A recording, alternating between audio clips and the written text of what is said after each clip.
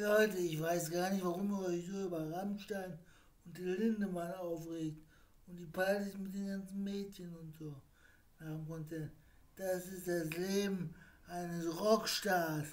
Und glaub mir, da weiß ich, wovon ich rede. Irgendwie. Braucht er mir jetzt nicht zu glauben, aber na Mann. Gott, meine ich gebe es kurz.